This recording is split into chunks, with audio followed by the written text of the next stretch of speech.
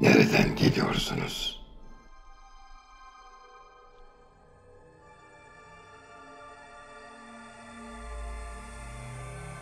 Nereye gidiyorsunuz?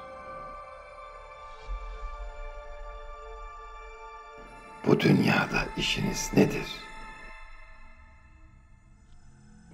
Reisiniz kimdir? How do you feel? Alive. I am your father. You are my creation.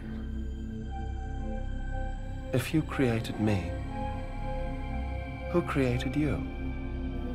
Where do it come from? The question of the ages. Evet, Beni Adem büyük bir kervan ve azim bir kafile gibi mazinin derelerinden gelip vücut ve hayat sahrasında misafir olup istikbalin yüksek dağlarına ve müzeyyen bağlarına müteveccühen kafile kafile mütesensilen yürümekteyken kainatın nazar dikkatini celbetti. Şu garip ve acip mahluklar kimlerdir? Nereden geliyorlar? Nereye gidiyorlar? diye ahvallerini anlamak üzere hılkat hükümeti fenli hikmeti karşılarına çıkardı.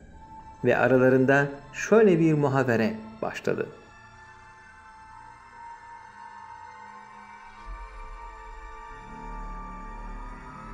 Bu suale Beni Adem damına emsali olan büyük peygamberler gibi Muhammed-i Arabi aleyhissalatü vesselam nevi beşere bekaneten karşısına çıkarak şöyle cevapta bulundu. Ey hikmet! Bu gördüğün insanlar Sultan Ezeli'nin kudretiyle yokluk karanlıklarından ziyadar varlık alemine çıkarılan mahluklardır. Sultan Ezeli bütün mevcudatı içinde biz insanları seçmiş ve emanet-ü kübrayı bize vermiştir.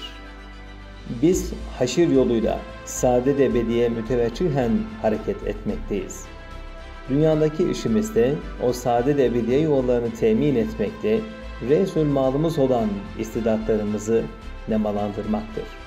Ve şu azim insan kervanına bundan sonra Sultan-ı Ezeli'den risalet vazifesiyle gelip riyaset eden benim. İşte o Sultan-ı Ezeli'nin risalet berantı olarak bana verdiği Kur'an-ı Azimüşşan elimdedir. Şüphen varsa al oku.